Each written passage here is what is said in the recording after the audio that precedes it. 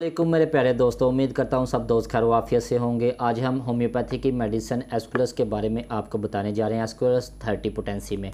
आज हम इसकी सिम्टम्स के बारे में बताएँगे और ये आपने कैसे इस्तेमाल करनी है, उसके तरीक़ाकार बताएँगे और इसकी दफ़ा असर कौन कौन सी अद्वियात हैं, उनके बारे में आज हम आपको बताएँगे।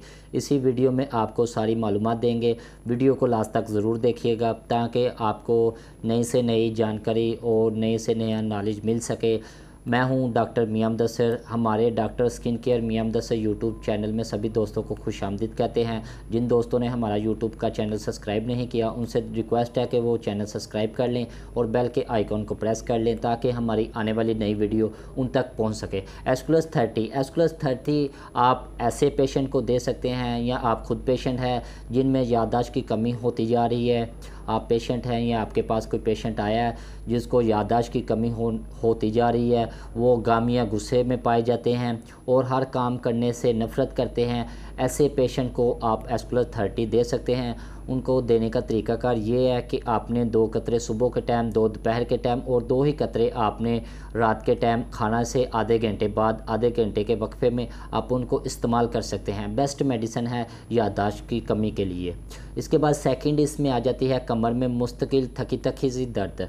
ऐसी औरतें, ऐसे मर्द जिनको मुसलसल कमर में थकी थकी सी दर्द का एहसास होता है और इसके बाद रीढ़ की हड्डी में कमज़ोरी आ जाती है और कमर और टांगें जवाब दे जाती हैं। काम करने से, चलने से चलने से पोल लजलाते हैं और ठीक से चला नहीं जाता। और ऐसे पेशेंट एक दफ़ा बैठ जाएँ तो उनसे खड़े होना बहुत मुश्किल होता है। ऐसे पेशेंट को एस्कुलस थर्टी पोटेंसी में आप उनको दे सकते हैं। उनको भी देने का तरीका वैसा ही है। आप उनको दो दो कतरे सुबह, दो दोपहर और दो शाम में खाने से आधा घंटा बाद में इस्तेमाल करें। बेस्ट मेडिसन है। इसके बाद आ जाती है पाइल्स की बवासीर की प्रॉब्लम। बवासीर में ये बहुत बेस्ट मेडिसिन है। ऐसी बवासीर जिसमें खुश्क बवासीर हो, और जलनदार हो, और दर्ददार हो, जिसमें ब्लीडिंग का अखराज कम होता हो, उसमें एस्कुलस थर्टी पोटेंसी बहुत अहम मेडिसिन है।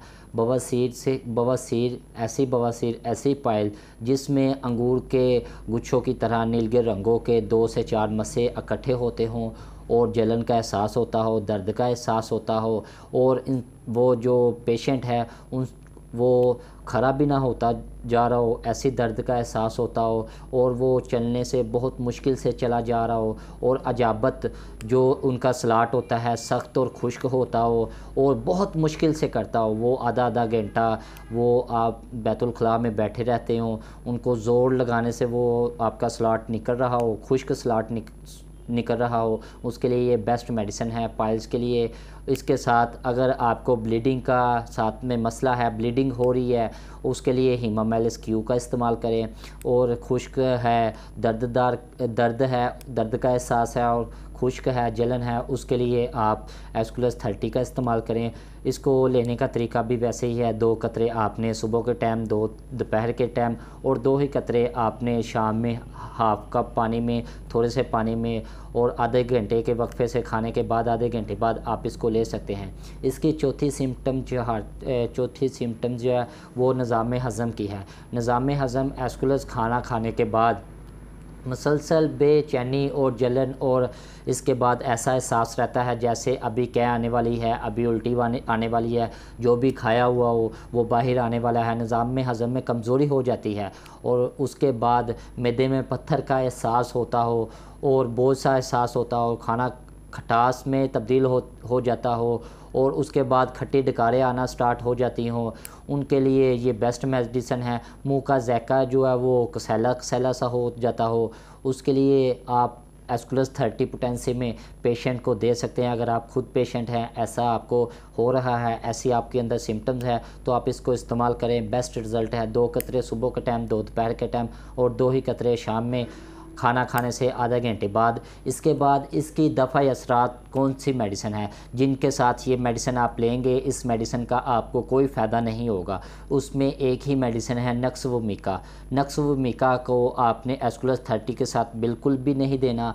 अगर आप पेशेंट हैं, अगर आप खुद पेशेंट है अपने पेशेंट को देना है। एस्कुलस थर्टी के साथ आपने नक्स मिका का इस्तेमाल नहीं करना। उम्मीद करता हूँ वीडियो पसंद आई होगी।